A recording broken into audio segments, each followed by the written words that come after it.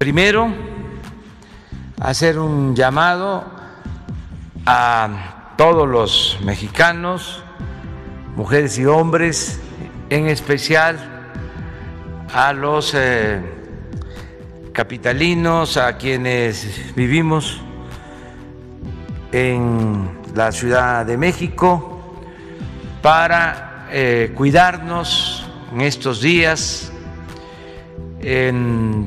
todo el país. Eh, sigue afectando la pandemia del COVID, pero hay eh, ocho estados, ocho entidades federativas en donde está creciendo el contagio. Una de estas eh, entidades federativas pues es la Ciudad de México. En los últimos tiempos ha habido más hospitalizaciones, hay más contagio. Y eh, podemos, como lo hemos hecho entre todos, controlar esta situación si nos cuidamos. Eh, lo que debemos de pensar es que falta muy poco para el 24 yo les eh, hablaba del comportamiento de quienes vivimos aquí, de cómo este, se procura estar en familia del 24 y ya a partir del 25 ya la ciudad este, se vacía, ya no hay movimiento, hasta eh, las vísperas de la llegada de los Reyes Magos. Entonces, lo que tenemos que procurar es eh, cuidarnos hasta antes del 24, desde luego, cuidarnos siempre, pero de manera especial. Si eh, podemos no salir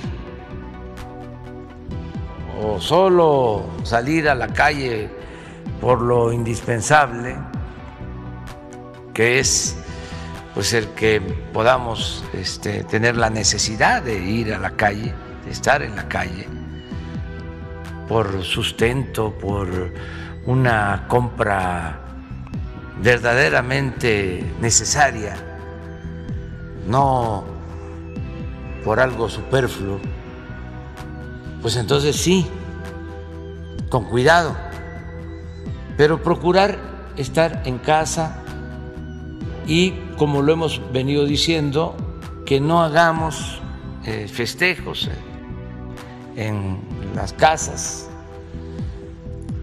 Y yo espero que pasando ya el 24, ya este baje la movilidad en la ciudad. Y esto nos va a ayudar mucho. Entonces es prohibido prohibir. No se trata de cerrar toda la actividad económica, comercial, de incluso la recreación. No se trata de eso. Se trata de que nos cuidemos como lo hemos venido haciendo.